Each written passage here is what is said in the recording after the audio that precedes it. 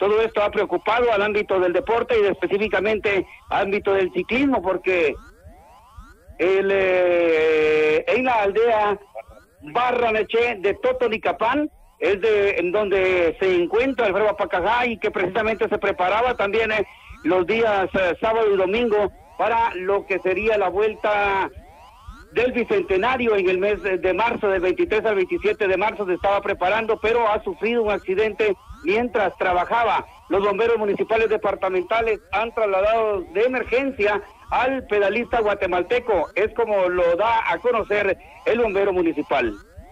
Eh, muy buenas tardes a nuestro medio. Nos hicieron llamada en la, en la estación de bomberos municipales en la aldea Barnicheto, Tenicapán, pues al llegar en el punto, pues lamentable eh, el señor eh, Alfredo Esteban Aspacajatash, de 32 años de edad, pues él está laborando en una carpintería y lamentable de que él cortó los dedos de, la mano izquierda y lamentable de que por el estado y que tenemos que trasladar acá al hospital de Sololá con la unidad AD123.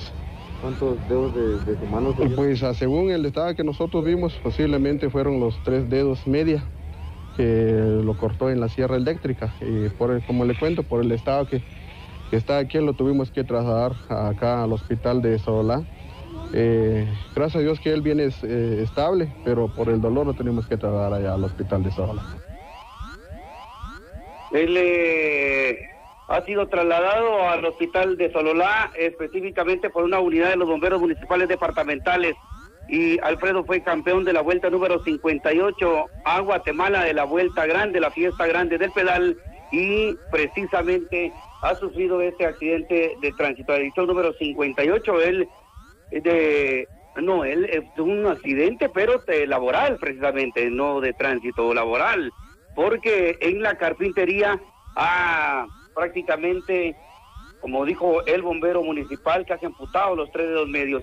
Es por esa razón que trasladamos esta información con urgencia del campeón de la Vuelta Ciclística número 58 a Guatemala. Estaremos ampliando más adelante más detalles sobre este, este, esta situación que está viviendo seguramente también la familia del ciclismo guatemalteco y la familia de Alfredo Pacajá. Sonora es la noticia.